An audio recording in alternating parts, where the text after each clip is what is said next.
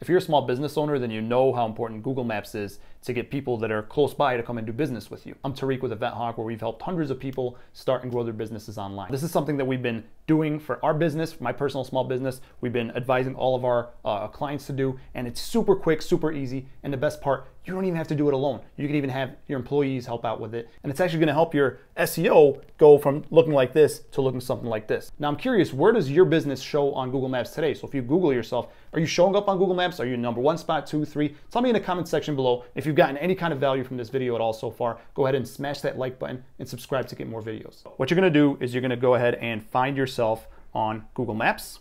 And you can have your guys do this. They don't even have to be logged into Google anymore. Um, and you just scroll down to photos and this is going to be done at the job site, wherever they're doing jobs. And then you're going to go ahead and click add photos, add photo, and camera. And then let's just say this is my job site. You don't want to do this from a computer like this. You go ahead and you take a picture and then done and publish.